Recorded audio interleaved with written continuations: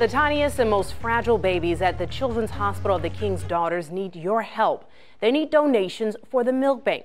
Here's a special report. Unfortunately, our freezers are bare and we really need help to get milk in here for preemies. These empty shells mean sick babies could die.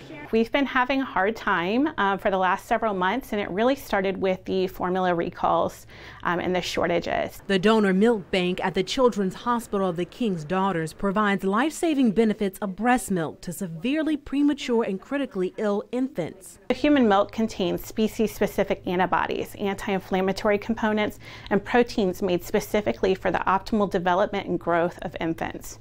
For preterm infants, it is a life saving medical treatment. This facility is one of 31 nonprofit milk banks in North America. The CHKD location serves NICUs from New Jersey to Florida. With a busy holiday season ahead, the milk bank is seeking kind mothers. The access to donor milk is critical and the need is extremely high right now. A little can go a long way. One ounce can treat four premature or ill babies. And even mothers who've experienced loss can use milk donations to carry on their angel's legacy. Bringing relief to the families that are literally holding vigil over incubators, um, praying that their baby makes it through the day. To ensure no other family has to suffer, Baker says they can receive donations from across the country.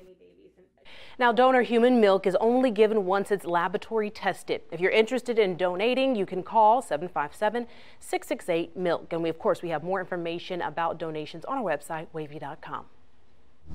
Navy officials say they